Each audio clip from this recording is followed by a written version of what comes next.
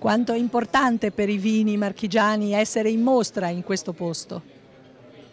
Tantissimo, perché il mercato italiano per il vino marchigiano resta il primo mercato, perciò noi è un qualcosa che dobbiamo recuperare, anche se la quantità quotidiana di consumo del vino sta scendendo in Italia, noi dobbiamo recuperare questo utilizzo del mercato italiano, perciò ci siamo adoperati fortissimamente per portare qui non solo le aziende che già ci sono, sostenerle, ma inserire le nuove realtà. Tutto questo è importante perché questa vetrina internazionale oggi ci consente di dare maggiore sviluppo ai nostri prodotti, in modo particolare per elevare le aziende dal punto di vista di esportazione dei propri prodotti. Questo è importante e noi lo faremo sempre di più perché il vino resta uno dei fattori importanti trainanti della nostra economia. Questo ci fa solo che piacere, il Verdicchio oggi è il primo vino bianco d'Italia, l'abbiamo oramai conclamato da tutte le parti, il Verdicchio resta il nostro ambasciatore nel mondo. Non dobbiamo essere gelosi di avere questo grande, ehm, questo grande ambasciatore perché il vino da solo non va da nessuna parte, però il vino abbinato alle bellezze storiche e architettoniche, alle nostre città,